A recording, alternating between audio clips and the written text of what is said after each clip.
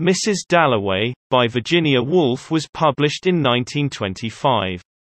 It describes one day in the life of Clarissa Dalloway, an upper-class lady from London married to a Member of Parliament. The book essentially is without a real story. What little action there is, takes place mainly in the character's consciousness. The novel addresses the nature of time in personal experience through multiple interwoven stories, particularly that of Clarissa as she prepares for and hosts a party, and that of the mentally damaged war veteran Septimus Warren Smith.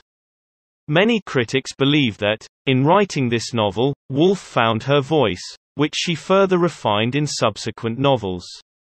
Woolf, like many other modernist authors writing in the aftermath of World War I, felt that such a style was better suited and depicted life more accurately like the messy thing it is.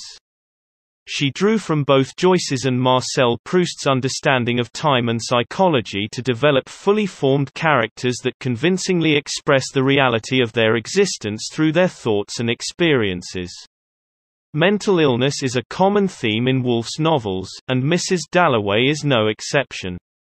PTSD was not examined closely during Woolf's time.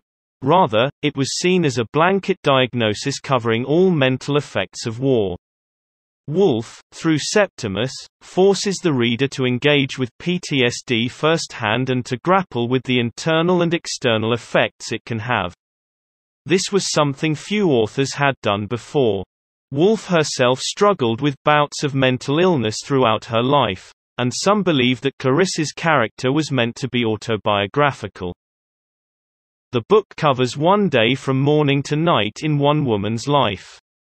Clarissa Dalloway, an upper-class housewife, walks through her London neighbourhood to prepare for the party she will host that evening. When she returns from flower shopping, an old suitor and friend, Peter Walsh, drops by her house unexpectedly. The two have always judged each other harshly, and their meeting in the present intertwines with their thoughts of the past. Years earlier, Clarissa refused Peter's marriage proposal, and Peter has never quite gotten over it. Peter asks Clarissa if she is happy with her husband, Richard, but before she can answer, her daughter, Elizabeth, enters the room. Peter leaves and goes to Regent's Park. He thinks about Clarissa's refusal, which still obsesses him. The point of view then shifts to Septimus, a veteran of World War I who was injured in trench warfare and now suffers from PTSD. Septimus and his Italian wife, are spending time in Regent's Park. They are waiting for Septimus's appointment with Sir William Bradshaw, a celebrated psychiatrist. Before the war, Septimus was a promising young poet and lover of Shakespeare. When the war broke out, he enlisted immediately for romantic and patriotic reasons. He became numb to the horrors of war and its aftermath, when his friend Evans died on the battlefield, he felt little sadness. Now Septimus sees nothing of worth in the England he fought for, and he has lost the desire to preserve either his society or himself.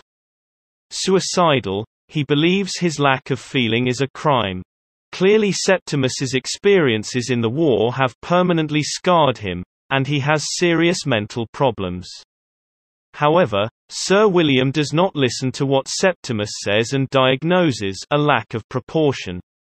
Sir William plans to separate Septimus from his wife and send him to a mental institution in the country. Richard Dalloway eats lunch with Hugh Whitbread and Lady Bruton, members of high society.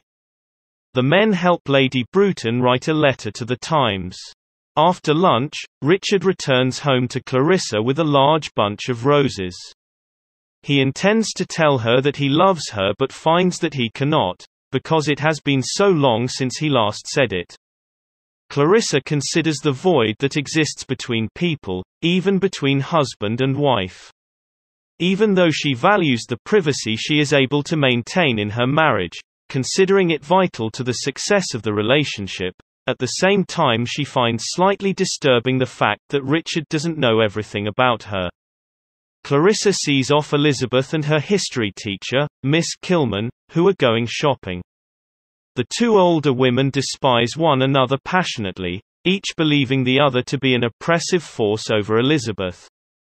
Meanwhile, Septimus and Lucrezia are in their apartment, enjoying a moment of happiness together before the men come to take Septimus to the asylum.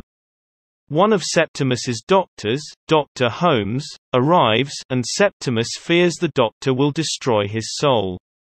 In order to avoid this fate, he jumps from a window to his death.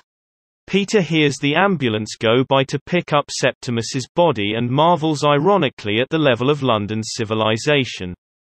He goes to Clarissa's party, where Clarissa is working hard to make it a success but feels dissatisfied by her own role and acutely conscious of Peter's critical eye. All the partygoers, but especially Peter and Sally Seton, have failed to accomplish the dreams of their youth. Though the social order is undoubtedly changing, Elizabeth and the members of her generation will probably repeat the errors of Clarissa's generation. Sir William Bradshaw arrives late, and his wife explains that one of his patients, the young veteran, Septimus, has committed suicide. Clarissa retreats to the privacy of a small room to consider Septimus's death. She understands that he was overwhelmed by life and that men like Sir William make life intolerable. She identifies with Septimus, admiring him for having taken the plunge and for not compromising his soul. She feels, with her comfortable position as a society hostess, responsible for his death. The party nears its close as guests begin to leave. Clarissa enters the room, and her presence fills Peter with a great excitement.